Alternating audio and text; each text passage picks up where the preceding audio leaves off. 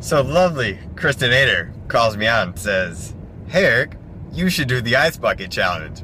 Or else.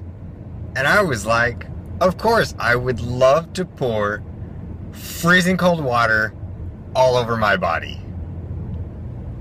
Because it supports a wonderful cause and ALS sucks. But before I douse myself, I'm gonna go ahead and call out some people. Colton Franklin, Ben Carlskin, Wes Schunkweiler.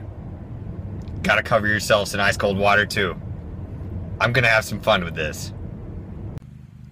It's important to remember safety first. There's no horseplay allowed here. This is very serious.